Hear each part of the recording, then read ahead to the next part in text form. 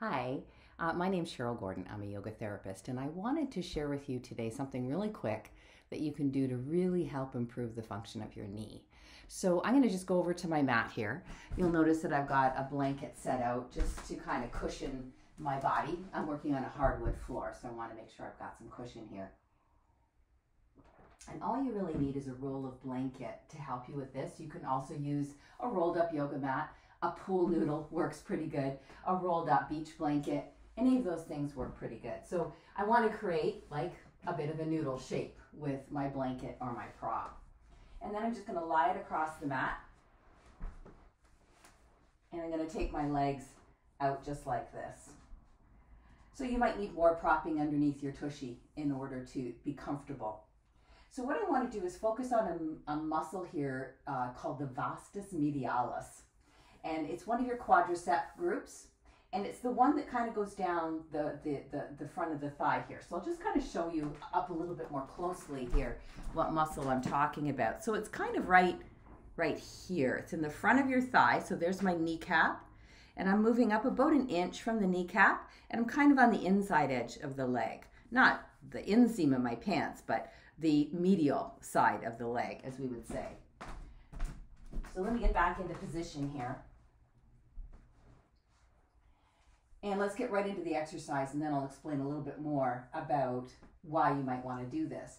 We're going to do this about 10 times, not at 100% power, uh, but just to kind of get us uh, get us activated in this muscle. So from here, if you work with your happier leg first, we're going to do it on both legs, even though you might only have one knee that's sore.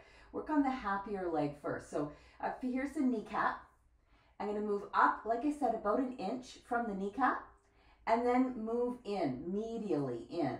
And then just kind of feeling right here, and your knee is a bit bent here because it's over the prop as I exhale, I'm going to push down on the back of the knee into the prop and see if I can feel this muscle fire.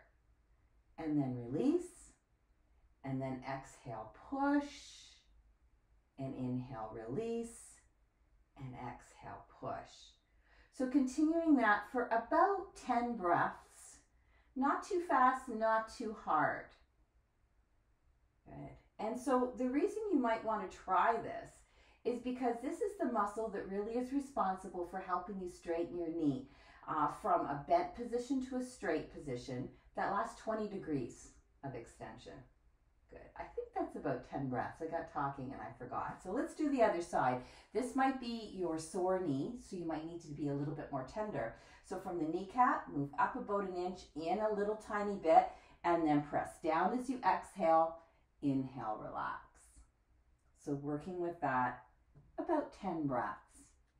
So what happens is when this muscle isn't as strong as the other quadricep muscles, and we have basically four, actually I heard rumors of five now, uh, muscles in the quadricep group, when this muscle is not as strong, which typically it isn't, it can affect the tracking of the kneecap or the patella and cause pain in your knee. So this is just one of the things that you can do to help improve the function of your knee. Um, we have lots of videos on the website that might help you with other exercises. Um, and there's also uh, a course coming up, a hip and knee, um, that you might look in our library to find. But I hope that helps. Something really fast, really simple. And uh, you know what? Repeating that morning and night for about a week or so should really start to give you a lot more uh, help with this.